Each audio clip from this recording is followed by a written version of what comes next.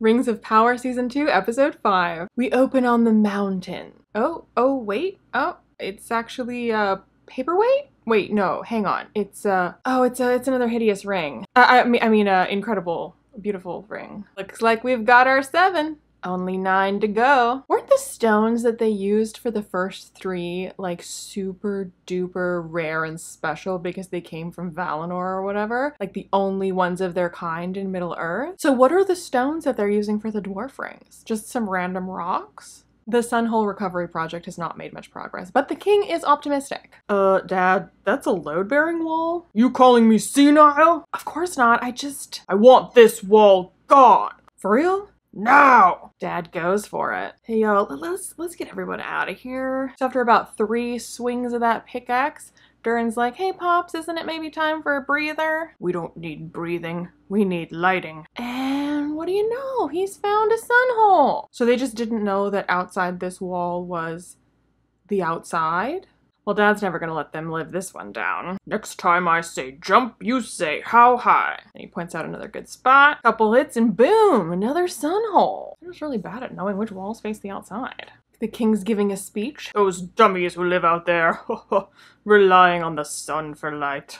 Idiots. Not like us who live in caves. Out there, everyone's a slave to the sun's schedule. But not us down here, who also only have light when the sun is out to shine through your sun holes? Everyone cheers for the new sun holes! Except for Disa and her bestie, who are giving it the side eye. Wasn't she the one that was like, whatever it takes. We are doing whatever deal we need to get sun holes again. And now Meanwhile, back in Eregion, Kelly Belly is talking about how great it is that elves and dwarves could work together side by side. I mean, not literally side by side because they cannot even stand next to each other, but yeah, you know, teamwork, yay. And they worked so hard together to achieve sunholes? Sauron is also hanging out. Gurley gives his arm a awkward little pat, like, yeah, we did great. Great job on the group project. Don't touch me. Oh no, not Sunholes. So the project that they're celebrating the completion of it's actually stone doors that they built in Eregion. See, I always thought the doors of Durin were like carved into the mountain, you know, into the very rock wall, not built elsewhere and then installed. Like, what's in the entryway now? Just a big gaping hole? Because the elves were like, yeah, we'll help you, but like, we are not gonna go over there. If you want us to build this door for you, you bring the rock to us.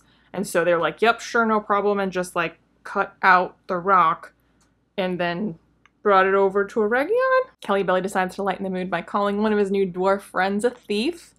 It's definitely not gonna create tension or anything. Sauron has had enough of this staff meeting. Super relatable, honestly. He's looking sad on his little balcony. Was it too much? I thought we agreed you'd keep it short. Did we? Typical. You never listen. We love a grump and sunshine romance. Oh, I know why you're pissed because I didn't mention you. Totally fair. That was my bad. Nah, I'm just being a moody grump because I'm emo about global mordoring. You want rings for men. What? I, I didn't say. Yeah, yeah. Cut the shit. I wasn't born yesterday. I see how you manipulate people. Well, excuse me for thinking we were on the same page. I'm not doing this tonight. Let's get back to the party. Well, I want to do it now. Listen, men are welfare queens who need to pull themselves up by their bootstraps. We can't be giving them rings, they'll just use them to buy drugs. There's plenty of Numenorean charities that can help them already. Have you ever been to Numenor? No. It's actually low-key amazing.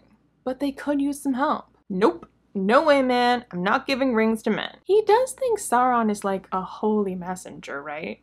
So he's like bickering with the holy messenger? Okay, listen. I hear you. Men do kind of suck but there are some diamonds in the rough. Chosen one hero types, you know? And let's go choose some chosen ones. Specifically nine. Nine? The perfection of the three. Thrice perfected for our third forging. Okay, and the dwarves got seven because. Nah, brah, sorry, I'm not doing this. Any of this. No, no, it's all good. No worries. I get it. I'll just do it myself. Wait, what? Meanwhile, in Numenor, whoever seen the gates to the Undying Lands? Nope. The elves for sure put them where we can see them to taunt us. So petty. Dad, you're king now? Can you be like happy for a second? It's not enough. How about we stop complaining and we start planning on how to make Numenor great again? Hey, uh, did I ever tell you that your mom predicted a bad future for you? Wait, what? Can you be more specific? Hmm, maybe. Tell you what, I'm gonna give you a little project. And if you knock it out of the park, I'll tell you what mom said. But if you mess up, well, dun dun dun. Meanwhile, also in Numenor, indistinct mob noises. Míriel is sad, and Elendil is trying to cheer her up by assuring her that the silent majority is with her. He wants to fight to reclaim her throne, and she is still in the castle in her old chamber. She does not appear to be a prisoner in any way. And according to him, the armed forces are very much still on her side. The way I understand it, that's usually the deciding factor in a coup. And she's like, nah, it's useless. You opened my heart to the way of the faithful. I serve you. What did you see in the Elf Rock? You mean when he briefly touched it and then immediately got blasted against the wall? I saw myself riding. Then you didn't see it? It? Sometimes, to win a battle, you have to not fight. I would recommend using a different metaphor to make this point because battles are famously things that can only be won by fighting. Like, you could choose to not fight in a battle, but you can't win a battle without fighting. Like, you can choose to not make an omelet, but you can't make an omelet without breaking eggs. Yes, I can. No, you can't. Yes, I can. Not without breaking eggs. Well, so what if I can't, Gordon? You know, I mean, I'm a busy man. My talents lie in other directions. No, no, I mean, you can't make an omelette without breaking eggs. What is this? Cookery corner? You know what I mean? I'm not following. Me either, dude. For years, that elf rock showed me our doom, but now everything is fine. Me getting dethroned was the best thing for everyone. You want my command? Here it is. Just go with it. Meanwhile, the Navy is peacefully turning over their uniforms. Who knew a violent overthrow could be so non-violent? We've been fired. Says who? Says me. Pharazon is king, so being loyal to the queen is treason. You for real right now? Yeah, Dad. Brother is dead, which makes me right. Yeah, but Elendil's son is dead, so doesn't that make him right? His heart-to-heart ends with Elendil telling his daughter that she's in danger of drowning? I don't know. Elendil turns in his sword, but not his uniform. Captain leaving deck. Everyone stands at attention to watch Elendil walk away. So emotional. Uh, he's nobody's captain now. Elendil slowly, dramatically pauses, then slowly, dramatically turns. He's right. Then he slowly and dramatically exchanges glances. I'm not. Captain! Thank you, Captain. Thank Bless you, you. Captain. Thank you, Thank you, Captain. Captain. Thank you, Captain. Bless you, Captain. Bless you. And Discount Draco is like, Silence! I'm telling my dad! Pansy Parkinson offers to get Isildur's bestie's job back, but he's like, nah, I'm good. Then we cut to the Elf Rock. Dun, dun, dun. Meanwhile, in Lindon, Papa Elf is finally reading that letter that Kelly Belly sent like two episodes ago. I guess that messenger made it okay from Eregion to Lindon, but the Fellowship is still making its way from Lindon to Eregion. Kelly Belly's letter is all about how he's for sure most definitely closing up shop. He's totally looking forward to retirement. Papa Elf seems suspicious. You see? Gal was way off. Kelly Belly's fine. Nothing to worry about. Time to invade Mordor. Papa Elf gets some bad visions of bad things. But Elf Lady seems to know that that's what's happening, even though he doesn't tell her, unlike Elrond, who needs Gal to tell him that's what's happening. But just like Elrond, Elf Lady is like, dude, we are not basing our plans based on the vibes of your ring, right? Okay. Papa Alpha uh, says nothing. But speaking of Elrond, on the road between Lindon and Eregion, Elrond realizes that running with a cloak is slowing him down, so he dramatically rips off his cloak. The rest of the Fellowship keep their cloaks on, so I guess we'll see who gets there faster. Anyway, uh, meanwhile, back in Casa Doom, You were the one who wanted to do the ring deal. I know, It was your idea. I know, It was like your whole deal. I know, but singing Open the Holes made me special, and now they're just opening holes without singing, and it's just not fair. That was my thing. It feels like they're cheating. And I've decided it's sus. Aw, honey. Dad knows what he's doing. I don't know.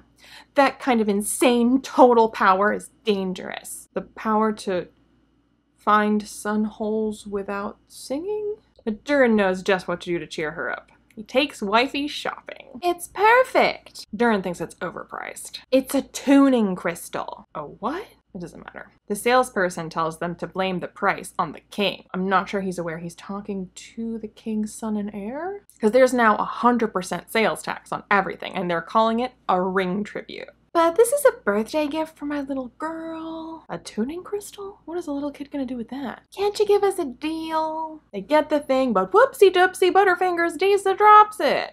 And it goes rolling, rolling, rolling, and then we watch Disa. She bumps into every single person who's in the market. And it rolls and it rolls and it rolls into the shadow. Uh oh! She goes a little ways down the passage, just adjacent to the market, and is like, What is this place? Are you telling me no one has ever gone down that way?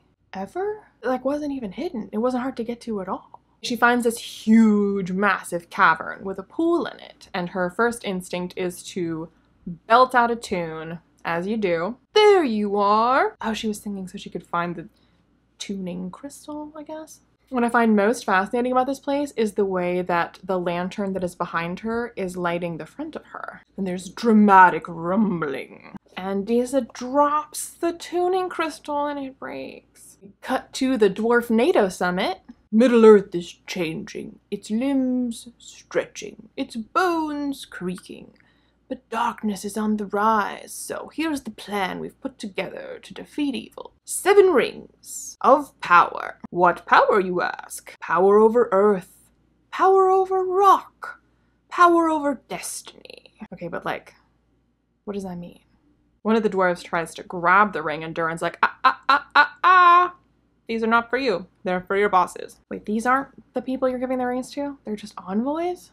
Tell your bosses they can each have one of these fancy new super duper non specifically great doodads for just seven low payments of 77.77 plus shipping and handling. Sweeping dramatic shots of the mines. Khazad-dûm shall never want again. Because he's using these new rings for extortion. There's gold beneath us. We just have to dig deeper. Wait, but then why the big deal about the extortion?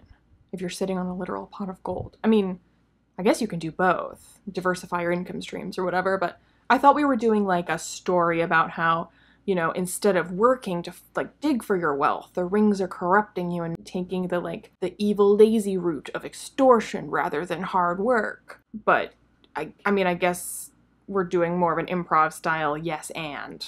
Hang on, who set these restrictions? Uh, you did, forever ago. What was I thinking? Get rid of those. But where's my ring? What did you do with it? It's right there. You took it off. You said your hand was feeling heavy. Right. Okay, well, anyway, as I was saying, get to digging. In comes Durin. Stop! There's something under the mine. Disa heard it. A nameless evil, ancient and powerful. Wow, she gathered all that intel from just one rumble? I was not giving Disa enough credit. Get to digging. You can't. The dude doesn't know what to do. Dig. Sir, yes, sir, right away, sir. Stone singers can hear the mountain, which is cool and all. But with this ring, I can see it. And boy, I'm telling you, it's a gold mine down there. Literally. So tell your wife to hush up. Meanwhile, in Eregion, Kelly Billy is having a rough day. Shouts of alarm! Something's going wrong with the ring project. Sauron says they were trying to resize the ring, but then tools start flying around like there's a poltergeist. The anvil, which is hanging from the ceiling for some reason, crashes to the ground. Yakko, is our use of falling anvils going to be a bit excessive? Yep. The fire goes boom! Kelly Billy grabs the floating mallet like it's Mjolnir and he's the only worthy one. He starts groping around midair until he finds the ring and takes it off the invisible hand and ta-da, she's back! Where were you? I was here, but like a wibbly wobbly version? There was something. I thought it was our forge, but what was it? It was made of fire. It came towards me, breathing. Cut to Sauron looking suspicious. Don't be suspicious. Don't be suspicious. His eyes will find me there, those eyes that burn. No more talk of darkness. Okay, so uh, what did you do differently this time? Well, you guys said you were worried about men being bad, so we used more mithril. You fool! If only we had you to guide us. Saved by the guards. Durin is here. Can't deal with that right now. He said it's about the rings. Oh, no worries. I can go. No, no. I got this. Changed how? He's real moody these days. Plus, get this, he wants half the wealth of all the other mines in exchange for the rings.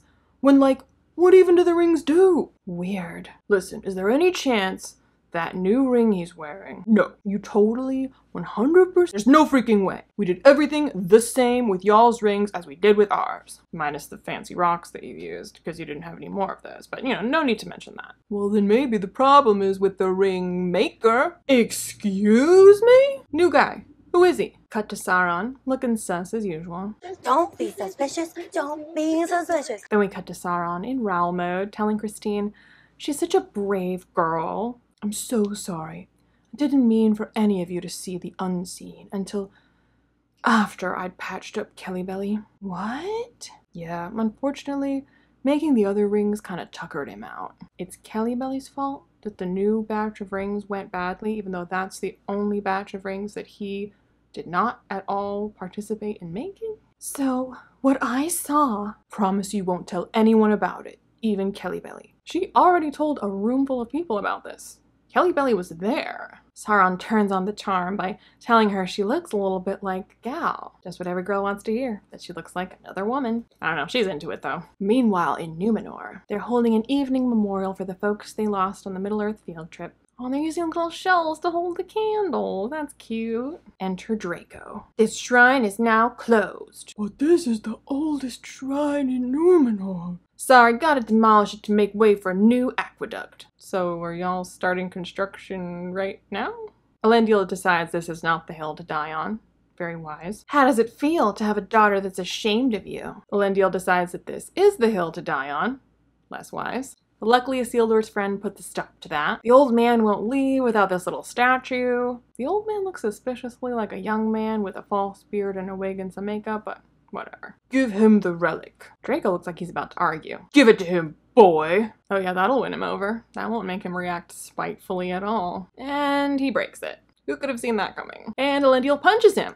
So much for avoiding bad decisions. Draco's fixing to punch back while Elendil's restrained, but Bestie comes in again to put a stop to it. Tells him to piss off. This shrine is for the faithful. I don't see you praying. The Lord is testing me. And he throws Draco. General ruckus ensues. Draco manages to get Bestie's head underwater. Emotional music plays. Oh no, he's gonna die. Oh, just kidding, he's fine. Uh oh, Draco has a sword. And Bestie disarms him and breaks his arm and makes ready for the kill. No, don't do it. Bestie surrenders and Draco stabs him in the back. Tell them it was a Elendil who started it. Take him away. No. Meanwhile, in Eregion, uh oh, trouble in paradise. Kelly Belly and his life partner are having another disagreement. There's something wrong with the dwarf rings. Or the dwarves are using them wrong, maybe, perhaps? No. I don't know why Kelly Billy's so certain. It's not like he has witnessed anything himself. He's really just got Durin's word for it, but okay. Are you sure you're not being manipulated? Considering Kelly Billy already accused you of manipulating people, I don't know if this is the best strategy. Why you always gotta be so suspicious of people? Oh, my bad. Kelly Billy has changed his tune approximately 180 degrees. So carry on. You should be more suspicious, my dear. No, I will not be. But that being said, did you alter the rings? No. Well, that settles that then. We did. What? See, making rings, it's kind of a vibes thing. And lies make for bad vibes. Lies?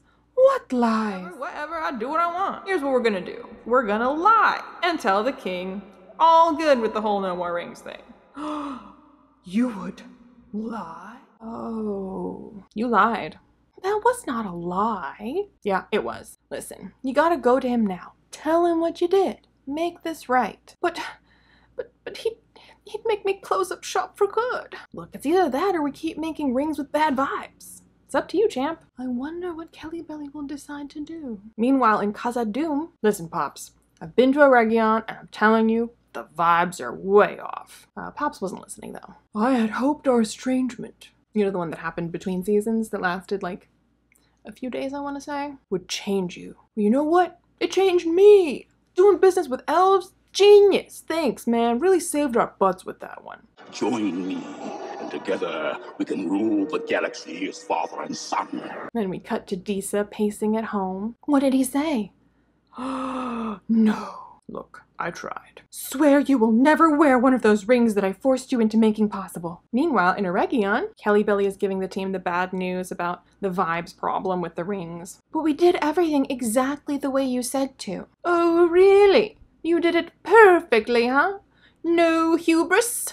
No sloth? Um, if lies created bad vibes, I want to say throwing around petty insults because you want to deflect blame it's not going to be great for the vibe situation. We must make up for the bad work we did before by doing better work. Cut to Sauron looking smug. The nine aren't just going to help men.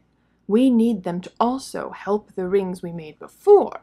Bring balance to the force, if you will. With the nine, we will redeem the seven. Um, what? They must redeem us all. Now, team, we're to give this 110%, each and every one of us and anyone who gives less is fired. Got it? Okay. I'm out. Awkward silence, morale, it's not great after that little speech. Again, I don't think the vibes are gonna be any better for this batch. Sauron reads the room and knows what to do. Hey guys, the boss is a bit stressed, but he and I both know that you guys won't let us down, okay? Kelly Belly's hands are shaking. Dun, dun, dun. Meanwhile, on the road to Eregion, the orcs are approaching. Meanwhile, in Lindon, Elrond finally made it back to tell Papa Elf that Gal was right. Orcs are headed for Eregion. Time to send in the troops. No can do.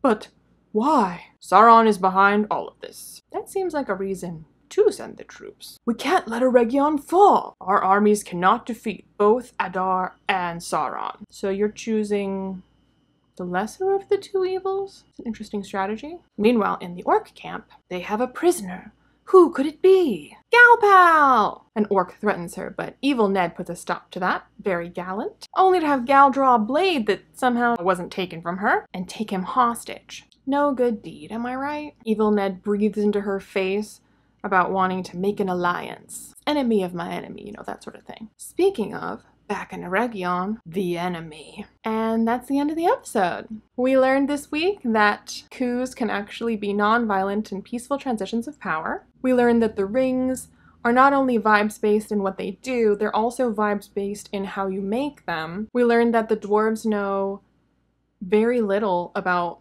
the place where they live, um, so they should probably do something about that. We learned Kelly Belly is more gullible than we thought, um, oh, and we learned the reason why they need to make nine rings. Because, you know, three times three for the third time. Yeah, yeah. Um, yeah. So, so excited to see what we're going to find out next week.